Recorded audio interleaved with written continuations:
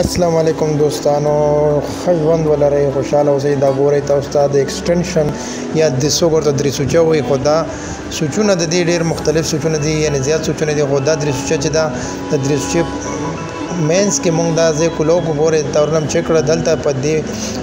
ارت پوینټ کې چې دی دا شارټ شوی دی کراس شوی دی او د دې ارت د وجه نه پوره درې سوچه خرابه شوې ده مطلب کار نه کوي تار هم سوځېدلی او دا ګورې یو بل سره کراس شوي دي نو یخ او ګرم تار یې سره کراس کړی دی سم ویلټ شوی دی ګورې دا ویلټ شوی دی نښتې دی ورپورې نو کوشش وکړئ چې کله مو په درې سوچه کې ستاسو څه مسله راشي نو په دغه طریقې به تاسو چک کوئ سویچونه به کلاو کوئ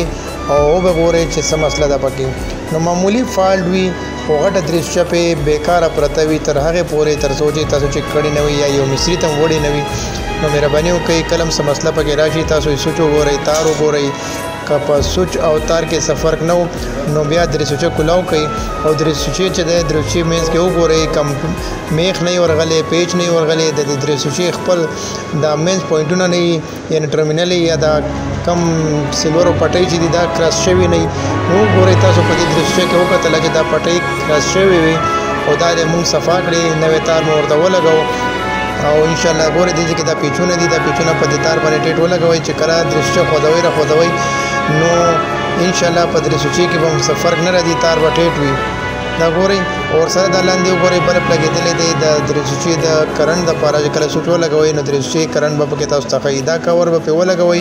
او پیچونه به خپل پې کس کوي مطلب پیچونه پې ولګوي او ان شاء الله تاسو درېسوچه به تیار شي او بجلی کې تار ولګوي سوچ ولګوي چیک اپ وکړي نو ان شاء الله تاسو به ښه رزلټ درکړي خوشاله اوسئ ژوندي اوسئ ښه ژوند ولرئ او ستاسو د ښه کمنټ په امید او ستاسو د سبسکرایب او ستاسو د لایکونو په انتظار او دوستانو څه قسم مشوره لرئ موږ سره رابطه وکړئ کور مه باز ژوندي اوسئ الله پامان